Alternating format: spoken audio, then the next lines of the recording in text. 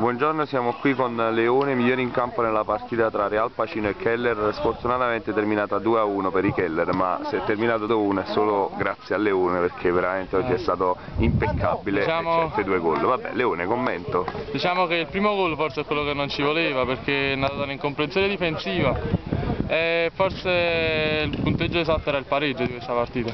Ho capito, ho capito, va bene, senti, i Real Pacino quest'anno hanno perso elementi importanti, però altrettanto li hanno guadagnati alcuni che secondo te sono alla stessa altezza dei precedenti. Beh, io vengo qua non per guardare la, la costanza e la determinazione dei, dei compagni, ma più per l'amicizia, per giocare insieme, così ci divertiamo. Eh, ho capito. Per la corna, con milioni campo lo dovevo fare. Vabbè, Pisa, Pisa.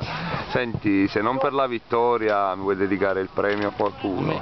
Ma vorrei dedicare il premio, non lo so, a tutti a quelli che abbiamo, gli elementi che abbiamo perso nel campionato scorso, a Jenny e a Mariano. Va bene, allora ringraziamo Leone, Real Pacino e arrivederci. Arrivederci.